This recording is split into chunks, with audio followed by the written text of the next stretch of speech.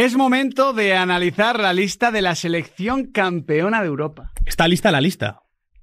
Y de la Nations. No me vas a distraer, porque yo cuando digo esto me siento bien. Los campeones de Europa y de la Nations. O sea, lo de la Nations es ya de regalo. Bueno, porque Pero no. es la lista de la selección campeona de Europa y de la Nations. Porque no os habéis cruzado con, con la exigencia pura. Que es una selección que no juega ni la Nations ni. No te ni preocupes, jugaremos la finalísima ante la mejor selección de Sudamérica y del Río de la Plata.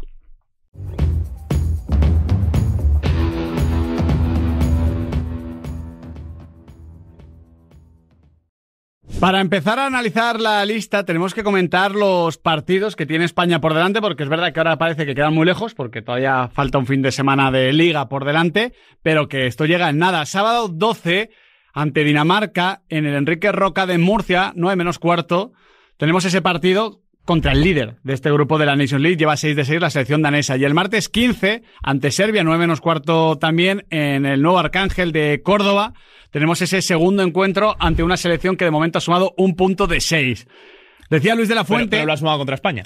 Sí, es verdad. En un partido, eso sí que mereció ganar la selección española. Decía Luis de la Fuente que al final, si ganas estos dos partidos, eh, no sé si es matemático, pero estarías clasificado para la siguiente ronda porque recordemos que esta Nations cambia el formato y como creo que hacían falta más partidos en, en el calendario futbolístico, yo creo que era algo que venían demandando todos los futbolistas, los, los, los aficionados, los periodistas, pues han metido una ronda intermedia y esto hace que el grupo, que era algo que me gustaba mucho del formato Nations, no sea tan determinante, porque se clasifican dos de cuatro. Mejor hacerlo como líder que como segundo, pero a mí me gustaba mucho que cuatro selecciones de máximo nivel se clasificase una y descendiese otra. Claro, me parecía muy guapo eso. Por si hay algún despistado, eh, antes había 16 selecciones, cuatro grupos de cuatro, los cuatro líderes juegan una Final Four. Y ya está. Sin líos, ¿eh? Además, yo creo que era bastante sencillo de entender. Ahora se mantiene lo de la Final Four, pero a la Final Four le sumamos que todos los segundos de grupo juegan una especie de repesca que vendría a ser como unos cuartos de final. Eh, pero solo con dos partidos. Juegan entre ellos los segundos de grupo y los dos que consigan meterse, eh, pues eh, a tope con ellos. A mí me parece un poco, un poco raro uno todo, pero, pero bueno, veremos cómo se evoluciona. El caso que Bueno, tenemos. cre- creo, creo que lo he explicado mal. Creo que lo has explicado mal. Sí, sí. ¿Y por qué no me lo dices? Porque te estabas liando. Sí, me- bueno, que ahora son cuartos de final. de- Hay cuartos de final, Sí, pero sí, no entre sí. segundos. Los primeros también, solo que... los primeros tienen que jugar contra los Es segundos. que venimos de hablar de, de la Champions y la Europa League, la Conference. Yo te estaba viendo y digo, no sé por dónde va el tema, pero yo he leído simplemente que ronda de cuartos. Sí, son cuartos. Y punto. Sí. Y, y si España gana sus dos partidos, pues, como, pues ya está clasificado. Y, y ya está. Y si luego gana otros dos, campeón. Y bueno, y evidentemente los primeros serán cabezas de serie. ¿Y los segundos? Pues serán. Pies de serie. Pies de serie. Vale. Después de este gran arranque de análisis de la lista de Luis de la Fuente, vamos ya posición a posición. Portería. David Raya, Alex Remiro, Robert Sánchez. Hay que recordar que La, triple Simón- R, ¿no? Sí, que Unai Simón está lesionado. Unai Simón es el guardameta titular, pero aquí hay que decir una cosa. David Raya puede meter la duda en el cuerpo a Luis de la Fuente, primero porque su rendimiento con la selección también está siendo bueno, Sí. y segundo porque con el Arsenal está formidable. Este es un debate que abro porque me parece planteable por el nivel de Raya, pero al mismo tiempo creo que para Luis de la Fuente, Unai Simón cuando vuelva, que ya será en la convocatoria de marzo, eh, va a seguir siendo titular, sobre todo porque creo que Luis de la Fuente, al contrario que muchos aficionados y periodistas, valora más lo que pasa en la selección que lo que pasa en los clubes. Igual Unai Simón, que por cierto está espectacular y que ha sido Zamora de la liga, igual Unai Simón cuando vuelve está peor que Raya, pero mientras no tenga un mal rendimiento con la selección, va a seguir siendo el guardameta titular. Y a mí, permitiendo la opinión, me parece bien. Yo tengo la curiosidad, eh, compartiendo todo esto, de ver qué pasa eh, el día que Unai Simón haga un mal partido. Eh, como aquel debate que hubo después de- del partido contra Croacia, cuando ha habido también el de Croacia de esta Eurocopa, Sí. ¿no? No el de hace, el de hace tres años.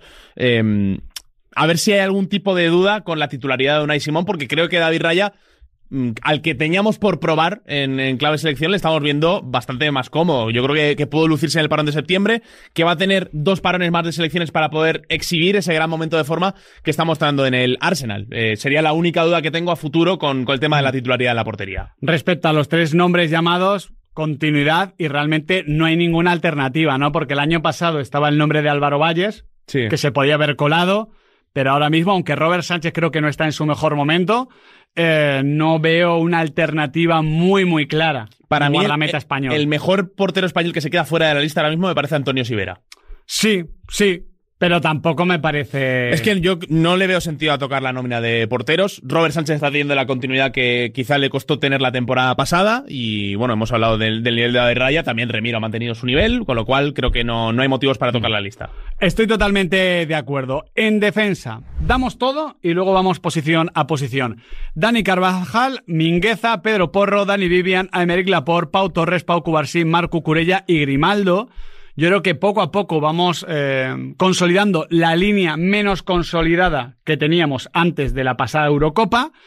Más allá de que Robin Lenormand está lesionado, evidentemente, y que Jesús Navas eh, se ha retirado de la selección y bueno, se va a retirar de clubes el 31 de, de, diciembre, veo mucha continuidad. Creo que es muy obvio que ahora mismo Mingueza, Pedro Porro y Marcos Llorente, al que no podía haber llamado Luis de la Fuente en esta ocasión por estar lesionado, se van a jugar ese puesto de lateral derecho para hacer de Jesús Navas, siendo Dani Carvajal evidentemente el titular. Sí, eh, yo tengo curiosidad por ver el nivel de, de, Pedro Porro, que lo hemos reclamado muchas veces, que llevaba bastante tiempo sin ir a la, sí. a la selección. Es que está jugando bien en, en, la Premier y es un futbolista con, con potencial, la verdad. Pero bueno, tú, tú, lo decías, Miguel, al final Luis de la Fuente seguía mucho por el, lo que es el rendimiento de la selección y en la selección, ya sea en la absoluta o en categorías inferiores, llevábamos tiempo sin verle, con lo cual, eh, mucha curiosidad por una de esas cinco novedades mm. que introduce Luis de la Fuente para este parón. Eh, por cierto, yo tengo también la duda de qué va a pasar cuando vuelva Lenormand. Claro, claro, a eso iba. Vamos posición a posición. Esto sobre el lateral derecho. En cuanto al puesto de central, ya sabemos que Laporte es indiscutible, además también como titular. Vivian, creo que ya lo es. ¿Cómo está Dani Vivian? Sí. O sea, pequeña, eh, pequeño aparte. O sea, es que está espectacular, ¿eh? Está muy bien.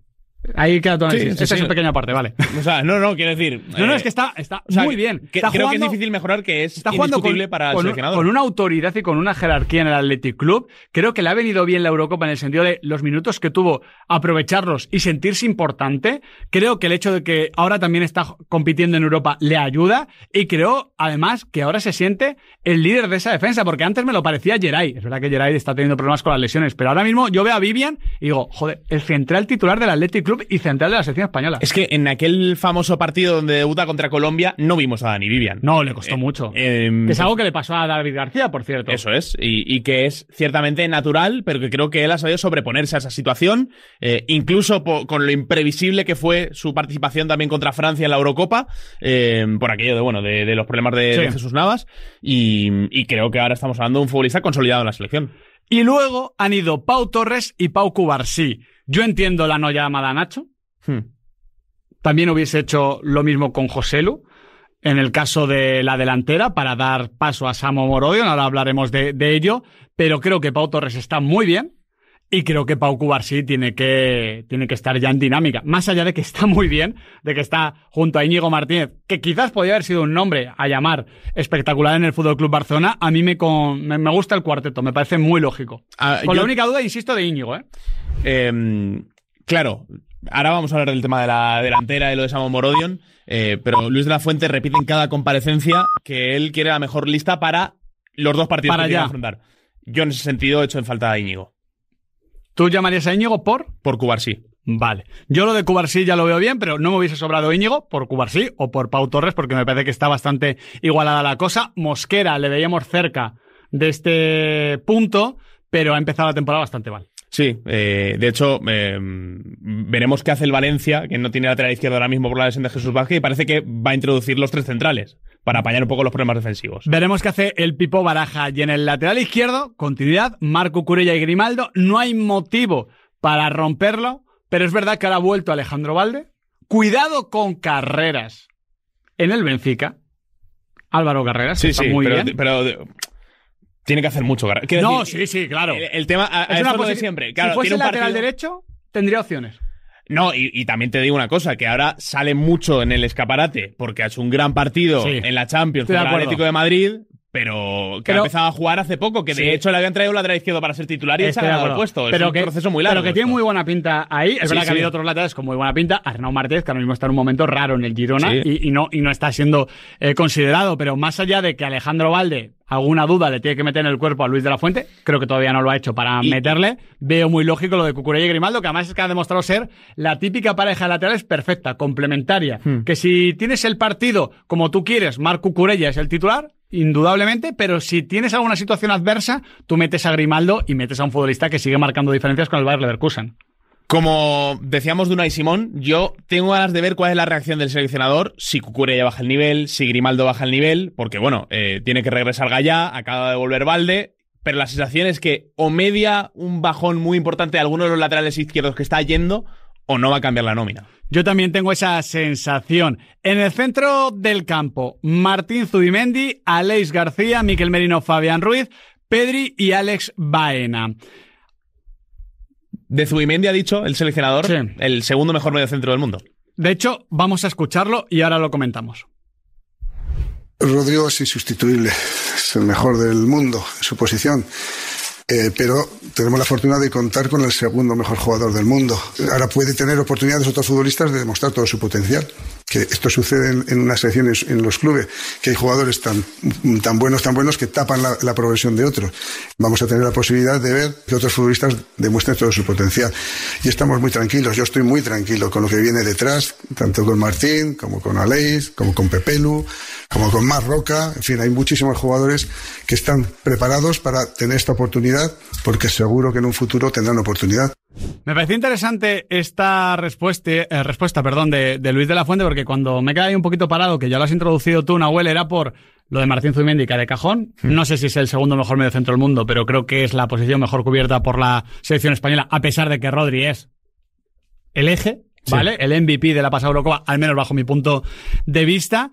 Pero luego me parece que la llamada de Aleix García en esta lista, en la que en centrocampistas figura Baena, que podría estar en atacantes perfectamente, habla de que Luis de la Fuente ve a Aleix García como mediocentro y no como interior. Por eso no va ni Pepelu ni Mar Roca. Creo que además Pepelu, por lo de Mosquera, igual no está en su mejor momento. Mar Roca creo que no está en su mejor momento. Y al final Aleix García que puede ser un medio centro o un interior de base de la jugada, que sería un poquito más la posición de Merino o Fabián, creo que Luis de la Fuente lo ve ahí, siendo el tercer Rodri.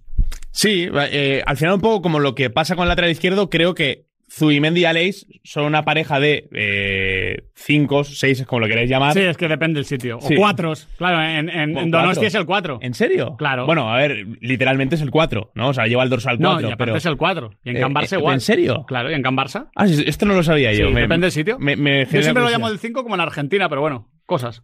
Bueno, el caso es que, a ver, el cambio, lo nominal, eh, es la baja de Pepelu y la entrada de Merino, que estaba lesionado en septiembre. Sí. Eh, yo creo que por ahí... Pero ahí fueron tres. Ya, ya, ya. Pero yo creo que ya en septiembre, digo. ya en septiembre eh, tenía un poco la idea eh, de empezar a contar con Alex ahí, que quería ver a Pepelu más de cerca, a pesar de que Pepelu, cuando va en septiembre, no estaba al nivel de la temporada pasada ya, no- ya no empezó Sí. a- al 100% Ya no la bien. Y, y creo que le ha convencido el experimento y por eso O sea- eh, complementa la nómina con futbolistas un poquito más eh, interiores tan- no- y no tan medio centro. ¿Compras entonces que esta eh, línea es, es muy lógica, es la que yo hubiese llevado? Hay que tener en cuenta, no está Rodri, no está Gaby, no está Dani Olmo.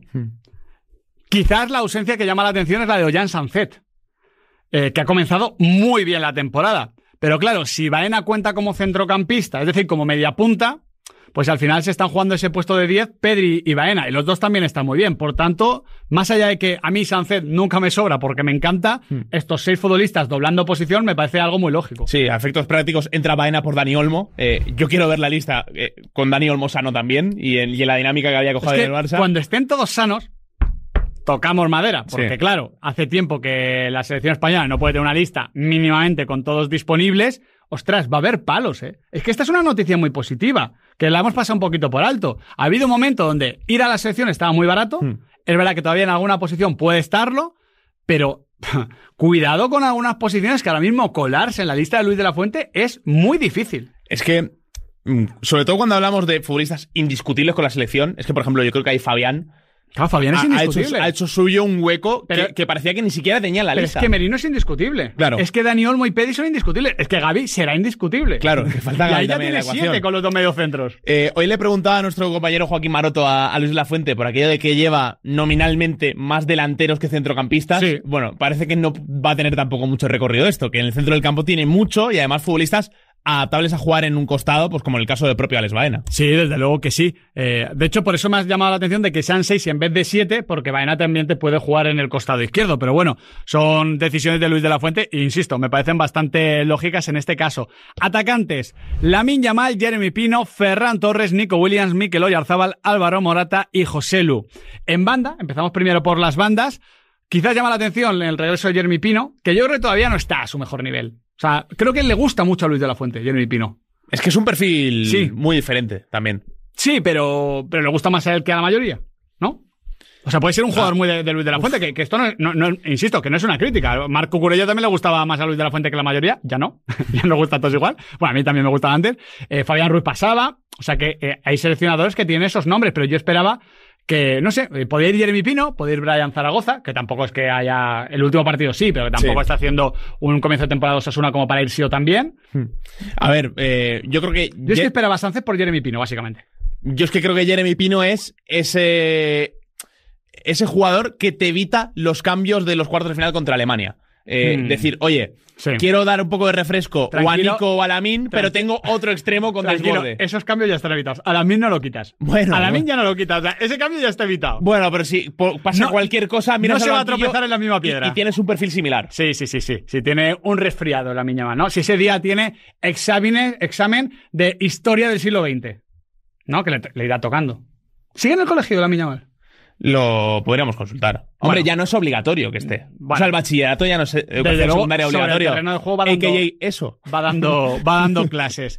Eh, Ferran Torres es un hombre muy de selección, está a un rendimiento bajo en el Fútbol Club Barcelona, pero creo que tiene que seguir yendo con la selección porque, bueno, lo demostró el partido contra quién fue, el, en El de que- Suiza. El de Suiza. Sí. Que se queda la selección española con 10 y que al contragolpe termina Eh, marcando la diferencia. hay que mencionar respecto a Ferran, que puede ser un poco eh, la pieza que a mucha gente le, le flojee Le dentro chirríe. de, le chirríe dentro de la nómina, eh, que ha confirmado Luis Lafuente que está lesionado a Yoce, que Sí. teníamos alguna duda al respecto. De hecho, no había hablado Marcelino todavía en la previa del partido del Villarreal y ya lo ha confirmado el seleccionador que Ayoce no estaba para ir a la selección. Exactamente. Al final, Ferran, ¿tú ves el rendimiento en el Barça? No debería ir. ¿Ves el rendimiento de la selección? Y tiene que ir obligatoriamente. Y yo me quedo con esto último. Con Mikel Oyarzábal casi que podríamos comentar algo parecido, con el extra de que Mikel Oyarzábal cuenta también como eh, tercer nueve, podríamos decir. Algo que, ojo, también Ferran Torres podría hacer. Y luego, en el apartado delantero centro, sigue yendo Morata, que me parece lógico. Pero me llama la atención lo de Joselu. Y fíjate que yo valoro mucho el recurso Joselu, que, ojo, luego en la Eurocopa terminó siendo menos importante de lo que pensábamos. Bueno, España tuvo menos partidos en los que Sí, tuviera que por eso, por eso. Fue una buena noticia, pero que al final se ha marchado del fútbol de alta competición y tienes a un futbolista como Samu Morodion haciendo cla, cla, cla a la puerta. Eh, ha ido a un destino fantástico como es el Porto. Creo que es una gran noticia porque creo que le estaría costando tener más minutos en Atlético de Madrid. Además, conociendo a Diego Pablo Simeone, cómo gestiona este tipo de, de futbolistas. Me parece una buena noticia para el chaval. Y yo le hubiese llamado. Yo lo hubiese llamado por José Luis. Pero es que verdad. José Lu viene a hacer su mejor partido con la selección, probablemente. También es verdad. Y, y También es verdad. su puesto, También es verdad. eh, con lo cual yo no tocaría a José Lu. No hubiese llevado a Samu. No, porque aparte creo que el. O sea, creo que la selección necesita un perfil Joselu y que no hay otros futbolistas de ese perfil que estén a un gran nivel. Pero aquí es donde se abre la pregunta que también le han hecho a Luis de la Fuente de, a ver, eh, la gran cita, la cita más importante que se viene es el Mundial. Hmm. 2026. Es Sí. la que queda, ¿eh? Sí, Serán, ¿qué? 21 meses más o menos.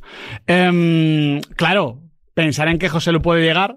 Él también ha dicho, no lo han preguntado exactamente por José, pero ha dicho, bueno, Jesús Navas llegó. A ver, Jesús Navas hay uno, ¿no? O sea, eh, Bueno. no, no, no, no veo yo a José Lu yendo al Mundial de 2026. Pero al mismo tiempo es que Luis de la Fuente va partido a partido y va competición a competición, que también me parece algo bastante lógico. Entonces, volviendo a otros temas, si es que yo soy muy comprensivo casi siempre con los seleccionadores porque no creo que cometan ninguna locura en líneas generales. Ni Luis de la Fuente, ni Luis, ni Luis Enrique, ni anteriores eh, misters. Eh, yo eh, hubiese llamado a Samu Morodion, pero entiendo la lógica de, de, Yo- de Luis de la Fuente. Yo hubiera llamado a Samo Morodion, pero si me has dicho hace un minuto que no. pero no lo llamaría por Joselu. Ah, Claro, yo Ah, por- igual prescindía de, de- Roy Arzabal, de. Ferran.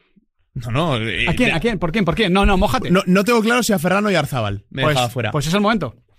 Mira, me dejaba fuera Arzabal. Sí. Sí, me está convenciendo O sea, su arranque de temporada. Al, al fucking hero de la final de, de Alemania. O sea, al tío que metió gol porque tiene un 30. No, que, que- que tiene de pie un 40 y. Bueno, Una eh, barbaridad. No, no, no es mi imperio romano saber cuánto Pues calza eh, Mikel Oyarzabal. Pues tiene unas buenas barcas, que, que suele Sí. decirse. Pero si tuviese un numerito más, hubiese quedado en fuera de juego. O sea, te cargas a, a Mikel Oyarzabal. Porque Bueno, es otro digo hombre que no de merezca. Es otro hombre de Eh, seleccionador. Como, como diría cualquier seleccionador de turno, bueno, hemos hecho una prelista de 35, todos lo merecían, pero estos son los que se quedan. Es más, yo añadiría, me gustaría hablar solo de los futbolistas que están convocados, el resto son muy buenos, pero hoy no nos acompañan.